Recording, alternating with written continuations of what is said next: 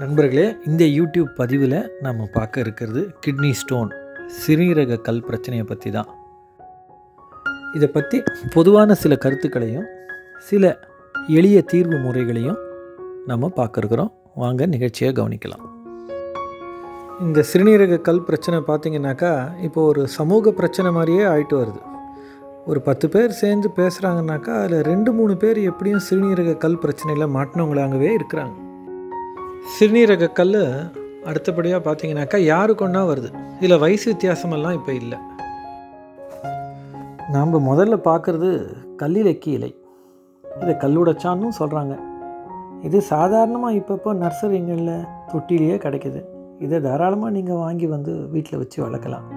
இதை காலையில் டிஃபன் பண்ணுறதுக்கு முன்னால் ஒரு ஃபிஃப்டீன் டுவெண்ட்டி மினிட்ஸ் முன்னால் நீங்கள் இது ஒரு இலை ரெண்டு இலையை சாப்பிட்டு வரலாம். இதனால் சில பேருக்கு பலன் கிடைக்கும். இந்த கல்லிலக்கி இலை வச்சு நீங்கள் கஷாயம்லாம் போட வேண்டாம். தாராளமாக பச்சை இலையை நீங்கள் சாப்பிடலாம். இந்த இலை புளிப்பும் துவர்ப்புமாக இருக்கும். இந்த செடி உங்களுக்கு எல்லாருக்கும் தெரிஞ்சிருக்கும்னு நம்புகிறோம் இது சிறுக்கன் பீளை.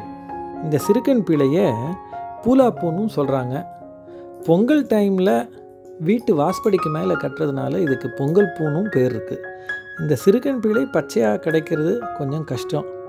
இது நாட்டு மருந்து கடைகளில் பவுடராக பொடியாக விற்கிது அந்த மாதிரி ஒரு பொடியை வாங்கி ஒரு அரை ஸ்பூன் இல்லை முக்கால் ஸ்பூனை தண்ணியில் கலந்து நீங்கள் தினம் காலையில் குடிச்சு வரலாம். இல்லை செடியே கிடைக்கும்னா ஒரு ரெண்டு கிளையை எடுத்து கொஞ்சோண்டு பால் விட்டு கல்வத்தில் வச்சு அரைச்சி நீங்கள் கால் டம்ளர் வீதம் ஒரு நாளைக்கு குடிச்சு வரலாம். பவுடராக சாப்பிட்றத காட்டிலும் பச்சையாக சாப்பிட்டிங்கனாக்கா பலன் கொஞ்சம் வேகமாக இருக்கும். அடுத்து ஆணை நெறிஞ்சி முள். இது முள்ளாகவும் கிடைக்கும் பவுடராகவும் கிடைக்கும். இது பவுடராக இருந்தால் ஒரு அரை ஸ்பூன் எடுத்து தினம் காத்தால் கஷாயம் வச்சு இதை வெறும் வயத்தில் சாப்பிட்டுட்டு அதுக்கப்புறம் நீங்கள் டிஃபன் பண்ணிட்டு வரலாம். இது நல்ல பலன் தரும். ஆனால் அதிகமாக இதை தொடர்ச்சியாக குடிச்சிங்கன்னாக்கா வயிறு ரொம்ப சூடாகும். ஆனை நெறிஞ்சி முள் இருக்குது இல்லைங்களா? அதனுடைய செடி அந்த இலையை ஒரு ரெண்டு மூணு இலையை எடுத்து நீங்கள் ஒரு ரெண்டு டம்ளர் தண்ணியில் ஊற்றி அதை கலந்துகிட்டே வந்தீங்கன்னாக்கா அஞ்சு நிமிஷத்துக்கெல்லாம் அது ஒரு ஜெல்லி மாதிரி ஆகும். அந்த தண்ணியை நீங்கள் வெறும் வயத்தில் காலையில் குடிச்சிட்டு வரலாம். ஒரு நாலஞ்சு நாள் குடிச்சிட்டு வரும்போதே பார்த்தீங்கன்னா உங்களுக்கு கல் வெளில வரத்துக்கு வாய்ப்பு இருக்குது ஆனால் கல் வந்து அஞ்சு எம்எம் கீழே இருந்தால் கொஞ்சம் ஈஸியாக வந்துடும் சரிங்களா? இந்த ஆனை நெறிஞ்சி முள் செடி வந்து மழை காலத்தில் கிடைக்கவே கிடைக்காது.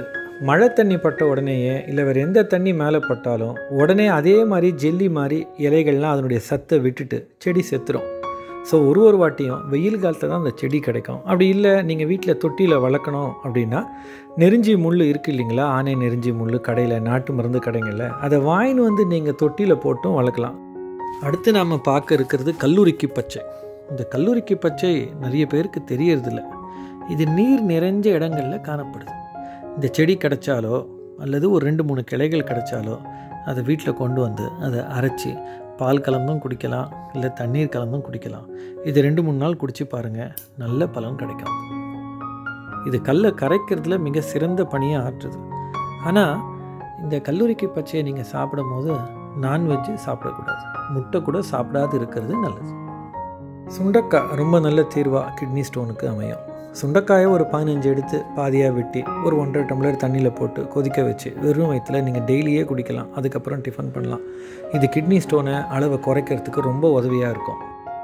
அப்புறம் முள்ளங்கி வாழைத்தண்டு இது ரெண்டையும் நீங்கள் சாப்பாட்டில் அதிகமாக சேர்க்கறது நல்லது.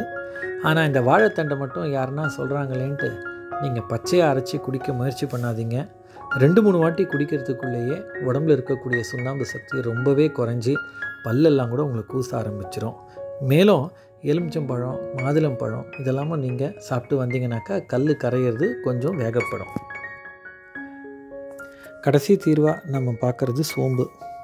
இந்த சோம்பை வறுத்து பொடி பண்ணி வச்சுக்கிட்டு ஒரு ஒரு ஸ்பூன் இந்த பவுடரை எடுத்து ஒரு டம்ளர் தண்ணியில் போட்டு கொதிக்க வச்சு அது ஆறின பிறகு அந்த தண்ணியை நீங்கள் குடிச்சு வரலாம். ரெண்டு நாளில் ஒரு வாட்டி மூணு நாளில் ஒரு வாட்டி அப்படி நீங்கள் குடிக்கலாம். இப்படி குடிச்சிங்கனாக்கா ஸ்டோன் கரையிறதுக்கு கொஞ்சம் உதவியாக இருக்கும். சிறுநீர் கழிக்கும் போது இருக்கக்கூடிய எரிச்சல் முற்றிலும் குணமாகும். இந்த சோம்பு கஷாயம் நீங்கள் சாப்பிட்டதுக்கு பிறகு குடிக்கலாம். சாப்பிட்றதுக்கு முன்னால் குடிக்கணும் அப்படின்றது அவசியம் இல்லை. ஒரு முக்கிய கருத்தை உங்கள் எல்லார்கிட்டேயும் பகிர்ந்துக்கணும்னு ஆசைப்பட்றேன். இந்த பாருங்கள் நண்பர்களே. கிட்னி ஸ்டோனு வந்த உடனேயே நிறைய பேர் சொல்கிற அறிவுரை என்னன்னு பார்த்தீங்கன்னாக்கா தண்ணி நிறைய குடிங்க அப்படின்றாங்க. தண்ணி நிறைய குடிக்காமலேயா இந்த கிட்னி ஸ்டோன் வருது அப்போது அப்போ தண்ணி குடிக்க தெரியாமலா நம்ம கிட்னி ஸ்டோனை வச்சுக்கிட்டு இருக்கோம்? யோசனை பண்ணி பாருங்கள் அப்போ அதுக்காக இவ்வளோ மருத்துவர்கள் அதுக்காக இவ்வளோ ட்ரீட்மெண்ட்டு லேசர் ட்ரீட்மெண்ட் இன்னும் எவ்வளோ ட்ரீட்மெண்ட் சொல்கிறாங்க அதுக்காக இவ்வளோ ஸ்கேனிங் சென்டர்ஸு நீங்கள் சாதாரணமாக ஒரு ஸ்கேனிங் சென்டர்ஸில் போய் பார்த்தீங்கன்னாக்கா ஒரு நாளில் கிட்னி கல் ஸ்கேன் பண்ணுறதுக்கு எத்தனை பேர் வரிசையில் நிற்கிறாங்கன்னு பாருங்கள் அப்போ தண்ணி குடிக்க தெரியாமல் தான் இத்தனை பேர் கிட்னி ஸ்டோனோடு இருக்கிறோமா? இதை நீங்கள் யோசனை பண்ணி பாருங்கள் மேலும் எல்லாரும் நினச்சி பாருங்கள் இப்பப்போ கிட்னி ஸ்டோனு பிரச்சனை அதிகமாக இருக்குது ஒரு முப்பது வருடங்களுக்கு முன்னாலெல்லாம் கிட்னி ஸ்டோனு பிரச்சனையே கிடையாது. அந்த மாதிரி நபர்களை சந்திக்கிறதே அரிது. அப்போ என்ன முப்பது வருஷம் முன்னால் வாழ்ந்தவங்கெல்லாம் பேசி வச்சு தண்ணி அதிகமாக குடித்தாங்களா இல்லை நம்மெல்லாம் இப்போது வேணுக்குன்னு பேசி வச்சு தண்ணியே குடிக்காது இருக்கிறோமா தாகம் எடுத்த பிறகும்? நல்லா யோசனை பண்ணி பாருங்கள் சமீப காலமாக இன்னொன்று ஒன்று நடக்குதுங்க. எல்லாரும் ஏழு லிட்டர் தண்ணி குடிக்கணும். இல்லை எட்டு லிட்டர் தண்ணி குடிக்கணும். அப்படின்னு ஏதோ ஒரு அளவை சொல்கிறத நம்ம சாதாரணமாக பார்க்கலாம். சாதாரணமாக டிவியில் விளம்பரத்துங்களில் கூட நீங்கள் நம்ம பார்க்கலாம். தண்ணிக்கு என்ன அளவு? நீங்கள் யோசனை பண்ணி பாருங்கள் தாகம் எடுத்தால் தண்ணி குடிக்க போகிறோம் அவங்கவுங்க வேலை செய்கிற விதம் அவங்கவுங்க வாழ தட்ப வெட்ப சூழ்நிலைக்கு ஏற்ற மாதிரி அவங்கவுங்க கடினமான உழைப்புக்கு ஏற்ற மாதிரி தாகம் எடுத்து தண்ணி குடிக்க போகிறோம் தாகம் எடுத்தால் தானே தண்ணி குடிக்கணும்? இல்லை தண்ணியும் சும்மாவே குடிக்க போகிறோமா நம்ம தாகம் எடுக்காமலேயே. ஆக தண்ணிக்கு ஒரு அளவு கிடையாதுங்க. தயவுசெய்து இது எல்லாம் நீங்கள் புரிஞ்சுக்கோங்க. ஏழு லிட்டர் தான் குடிக்கணும் எட்டு லிட்டர் தான் குடிக்கணும் ஒம்பது லிட்டர் தான் குடிக்கணும் அப்படின்னு எந்த விதமான அளவும் கிடையாது. மழை காலத்தில் கம்மியாக குடிக்க போகிறோம் வெயில் காலத்தில் அதிகமாக குடிக்க போகிறோம் தண்ணி தாகம் எடுத்து குடிக்காமல் இருந்தால் தான் தப்பு. சரியானீர்களே சில பேர் நீங்கள் பேசுகிறச்ச கவனித்து பாருங்கள் அவங்களுக்கு ஒரு கிட்னியில் ஒரு ஸ்டோன் வந்திருக்கும். அதுக்கு டாக்டர் நிறைய தண்ணி குடிக்க சொல்லியிருப்பார். அவங்க வைத்தியம் அண்டர்கோ பண்ணிக்கிட்டு இருப்பாங்க ஆனால் மறுபக்கம் கிட்னிலையும் ஸ்டோன் ஆரம்பித்து புதுசாக வளர்கிறத அவங்க திடீர்னு ஒரு நாள் ஸ்கேனிங் எடுக்கும் போது கண்டுபிடிப்பாங்க. அப்போது கிட்னி ஸ்டோனும் அவங்களுக்கு இருக்குது அவங்க டாக்டர் சொன்ன மாதிரி நிறைய தண்ணியை குடிச்சிட்ருக்காங்க தண்ணி நிறைய குடிச்சிட்டு இருக்கும் போதே இன்னொரு பக்கம் கிட்னிலையும் கல் வருதுன்னா அப்போ தண்ணி ஒரு தீர்வாக அமையுமா? நீங்கள் நல்லா யோசனை பண்ணி பாருங்கள் என்னுடைய தனிப்பட்ட கருத்துங்க இது. இது எத்தனை பேர் ஒத்துக்குவீங்கன்னு தெரியல. கிட்னி ஸ்டோன் வரத்துக்கு காரணம் பாரம்பரிய உணவு பழக்க வழக்கங்கள் இல்லாத போனதும் ரசாயன உரம் போட்டு வள- விளைய வச்ச காய்கறிகளும் பழ வகைகளும் மரபணு மாற்றப்பட்ட காய்கறிகளும் கிழங்குகளும் பழ வகைகளும் தான். உரங்க வந்து ட்ரெயினில் டன் டன்னாக இறங்குறத நமக்கு டிவியில் காமிக்கிறாங்களே. அந்த உரங்கள்லாம் விவசாயம் பண்ணுற பூமியில் தானே போடுறாங்க. உரம் விலை குறைஞ்சி போச்சுன்னு அனௌன்ஸ்மெண்ட்டு டிவியில் பண்ணுற அளவு தானே நம்ம இன்றைக்கி இருக்கோம். வெளிப்படையான உண்மை ஒன்று சொல்கிறேன் நண்பர்களே. இந்த சிறப்பு கொடுக்குறாங்க இல்லைங்களா? நிறைய சிறப்பு நீங்கள் விதவிதமாக குடிச்சிருப்பீங்க. பிராண்டு நேம் தான் வேறையை கண்டி அந்த சிறப்பில் படித்து பார்த்தீங்கன்னாக்கா பொட்டாசியம் சிட்ரேட் மெக்னீஷியம் சிட்ரேட்னு ரெண்டு தான் அதில் அதிகமாக இருக்குதுன்னு போட்டிருப்பாங்க. அதனால் நீங்கள் மெக்னீஷியமும் பொட்டாசியமும் இருக்கிற மாதிரி உணவு வகைகளை அதிகமாக நீ நீங்கள் சேர்த்து கொண்டாலே போதும்.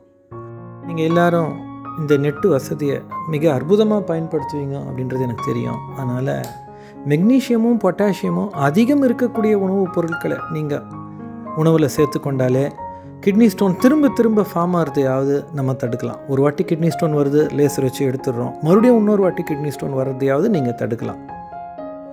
இந்த நிகழ்ச்சியில் சொல்லியிருக்கக்கூடிய தீர்வுகள் எல்லாமே கிட்னி ஸ்டோனுக்கு எதிர்ப்பாக பயன்படும். இது எல்லாவற்றையும் நீங்கள் பண்ணி பார்க்கலாம். இந்த நிகழ்ச்சி உங்களுக்கு பயனுள்ளதாக இருந்து உங்களுக்கு பிடிச்சிருந்தா சப்ஸ்கிரைப் பண்ணுங்கள் பெல் பட்டன் கிளிக் பண்ணுங்கள் உங்கள் நண்பர்களுக்கு ஃபார்வர்ட் பண்ணுங்கள் நன்றி வணக்கம்.